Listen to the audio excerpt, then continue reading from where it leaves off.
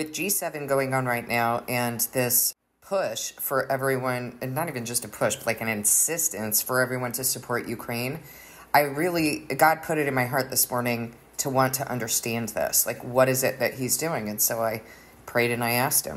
And I started to research kind of the history between Ukraine and the United States, Ukraine and Rome, Ukraine and Russia. And he told me that I was asking the wrong question.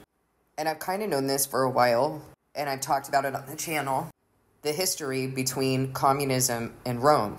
And that when Napoleon took down Rome, communism is the kingdom that was established. So I've known that that's a threat. And of course, this has been the narrative for most of, well, all of my life and much of my parents' lives that communism was the enemy. But he was raising something up in my heart today for me to understand more deeply. And I'm not sure if this will be news to you, but it was news to me that Moscow actually was referred to, has been referred to as the Third Rome. So Napoleon set up atheistic communism. Napoleon considered Russia a natural ally. Ideologically, they were similar. There were no territorial conflicts between Russia and France. And of course, we know that this kingdom of communism flourished up until the point where Pope John Paul II and Ronald Reagan came together and took down that wall. Now, as I was studying this, I noticed that even though the Roman Catholic Church has not come up and or Rome in general has not come up and said anything about this historical conflict, anything about insecurity or threat, but there's some pretty bad blood in the commentaries that I came across. So people are upset that Moscow would dare to call themselves the third Rome. And I've noticed this pattern with the Roman Catholic Church that they don't really raise any kind of, they don't ruffle any feathers. They let their members do it. They let other people do their dirty work and then they hide behind that. They commission other theologians to put out false doctrines, for example, like when Protestants were pointing the finger at Rome eh, or the Roman Catholic Church and saying that's the Antichrist. They commissioned a Catholic theologian named Ribera to put out a doctrine that the Antichrist is actually a man. And so that's where we get that doctrine today. And consistently, they don't take a stand on anything. I mean, even Francis will say, like, this is the way things are, this is what, you know, God wants, but each parish can decide, right? Like, you can bless same sex marriage, but each parish can decide what they want to do. How, how is that? So basically, God just gives suggestions, not commands. It's like this way of being a wishy washy waffler who doesn't take a stand, is above doing their own defense or their, their own dirty work. They just get other people to do it. So I've seen that consistently with them, and it feels very familiar as I'm reading these commentaries and seeing what people have to say. I can see that they're upset. I can see that they take offense to the fact that Moscow would even claim that they are the third Rome. So let's take a look at the history and why it is that the United States might be compelled not necessarily to support Ukraine, listen, there might be other things that are going on behind the scenes, but the only thing that really matters is how is God conforming this for his purpose and what's going on in the end times. So there might be something behind the scenes, I don't know. Biden padding his pockets, uh, that wouldn't be, right? That could never be. But if we're focusing on the minutia of what one man is doing, we're not going to see the larger picture of what's what God is revealing and fulfilling in these kingdoms. So, what is the motivation? Why is it that the United States is compelled to assist Ukraine?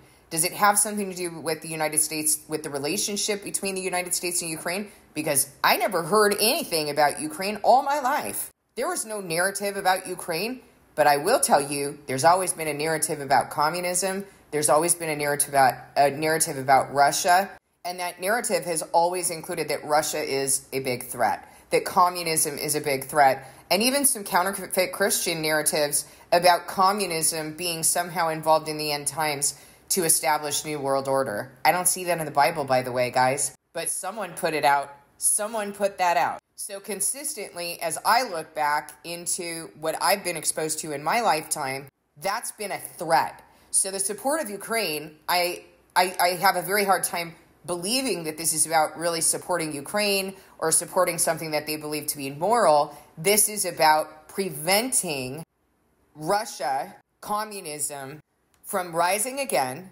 from coveting that title of Rome. It's about that. So let's first define what is what is being proposed as Rome 1, 2, and 3.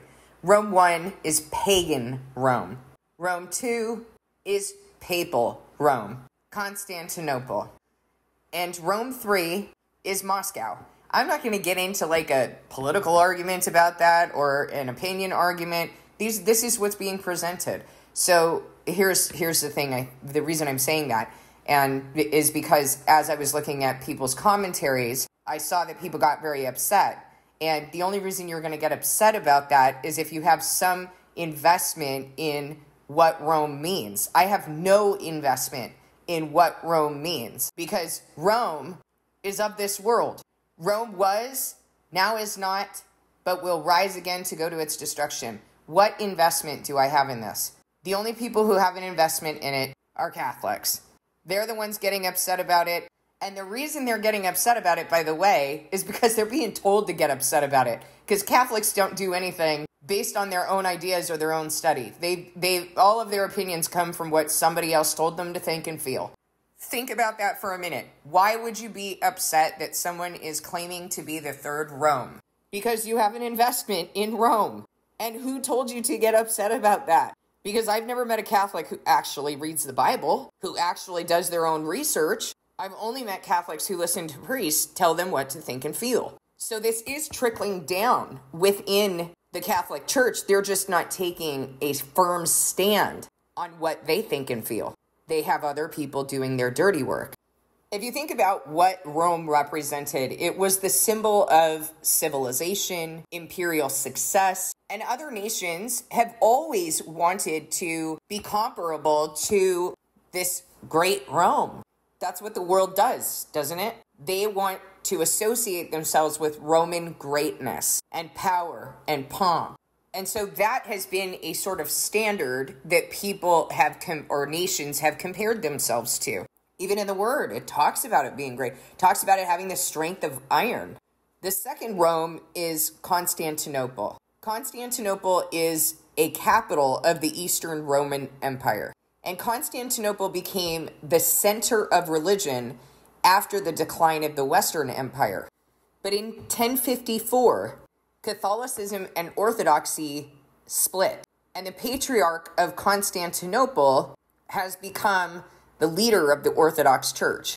Meanwhile, in 988, a Russian prince named Vladimir converts to Christianity and Russia becomes Orthodox. But there are also rumors that and and I think that we can safely assume that this is probably true because this has always happened within politics and so-called religion as did with Constantine that Vladimir was essentially selecting from Islam, Judaism, uh, Catholicism, Orthodoxy, but that he was most likely choosing his allies. So, as with Constantine, this is a political decision. This is not a religious decision.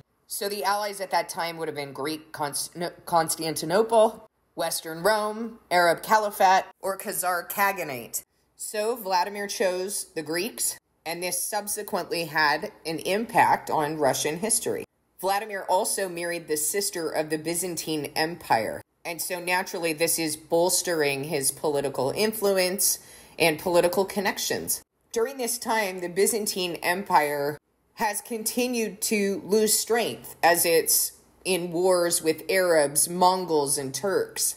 And then in 1453, Constantinople is taken by the Turks and it becomes Istanbul. So while Byzantine is weakening, Moscow is strengthening. And now Moscow has a new ruler, Ivan the Third, also referred to as Ivan the Great. There are two Ivans, one's the great, one's the terrible, two different guys. Ivan the Third is the great, the fourth is the terrible. Ivan does similarly to Vladimir by marrying the niece of the last Byzantine emperor. Her name was Sophia Paleolog, and this is all part of his effort to establish Russia as a successor to the Byzantine Empire. He sees that they're losing strength. Why not? Why not them? Why not Ma- Moscow? And so Ivan the Third, Ivan the Great, is the one who starts referring to Moscow as being the third Rome. And even this word czar is borrowed from the Latin word Caesar. And of course, as with Constantine, this was a political endeavor. It was not a religious endeavor, but certainly what was used as part of that political endeavor was to establish Moscow as the center of Orthodox quote unquote Christianity and the rightful heir to the legacy of Rome and Byzantium. So, do you think Rome is thrilled about this? Do you think that they're thrilled about their legacy being coveted by Moscow? Do you think that the Roman Catholic Church is thrilled about this split between Roman Catholicism and Orthodoxy and that they selected Orthodoxy? I mean, are you guys seeing kind of a picture of why they might be upset. They're coveting their power, and really it's not even their power because they fell. God took it away. They don't have the sense to understand that God is the one who did that, and that God is the one who's going to give them power again so that they will go to perdition. But as far as what they see is that Moscow is coveting their role. So they're not happy about this succession and they want their power back.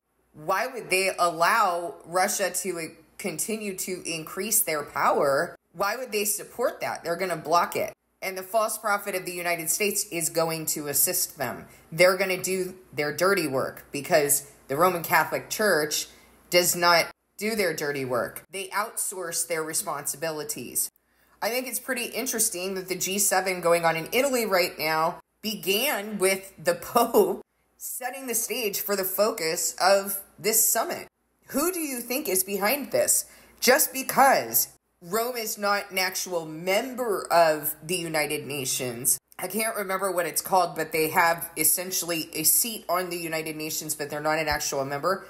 Guys, you can have more power and influence not being a part of this bloc than if you were a part of it. What's going on with Israel? They're not a part of any of this. They have literally no legal rights to anything that's being provided to them, and yet so much is being provided to them, and they're dictating leg- legislation in the United States.